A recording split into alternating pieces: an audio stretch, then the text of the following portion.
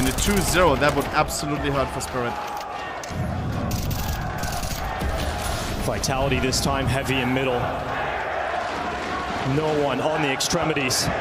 Has been some time since we've seen this mid aggression. Shrouded in the cover of Everyone middle. And the sound of the crowd. Vitality of a player Son takes. Good timing, that bomb! Short.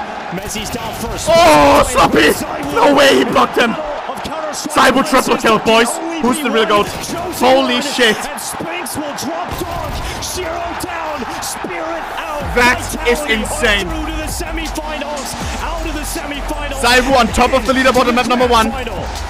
Continues into map number two. Vitality left no doubt today. The better team on this stage. There was a buzz, a buzz around Team Spirit coming into this.